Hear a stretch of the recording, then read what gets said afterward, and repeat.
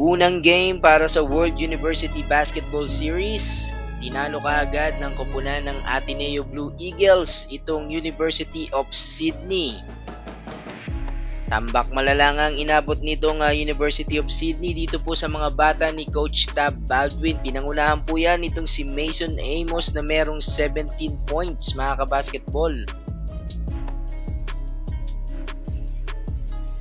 Grabe talaga si Coach Tab mga kabasketball. No? Kitang kita mo yung European style of play ng uh, laro nila. So mapa-opensa or depensa napaka-fluid. So, ang ganda ng uh, ball movement and also walang hero ball. At saka lahat ng mga kinukuha nilang shots eh magaganda talaga. Hindi pilit yung mga tira. High IQ yung mga player nitong si Coach Tab, no? Tsaka talagang makikita mo na nag-guide sila ng coach at walang uh, malaking ulo ng mga player at lahat nasa loob ng sistema yung uh, ginagawa nila. So maganda talaga mga kabasketball yung uh, sistema nitong si uh, Coach Tab at nitong uh, Ateneo.